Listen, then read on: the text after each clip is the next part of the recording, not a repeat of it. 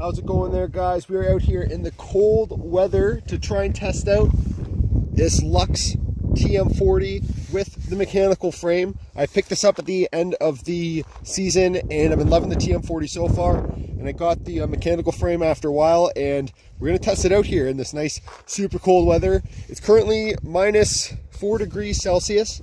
Uh, super cold outside at the start of November, basically midway through.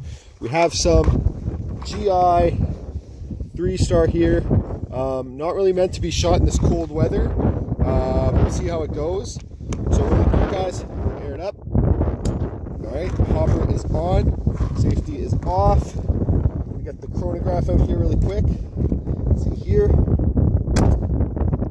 288. 285, 292, 299. Let's uh, get this hopper here, see how she performs. Just trying to get the frame, make sure. Oh, sorry, knocking the camera down here.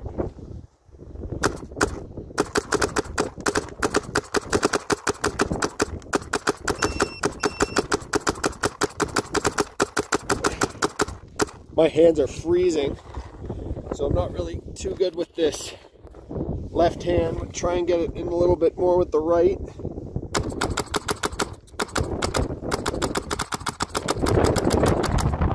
Oh, she's windy out here, guys.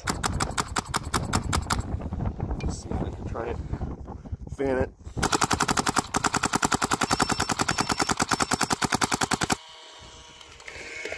Had a break there.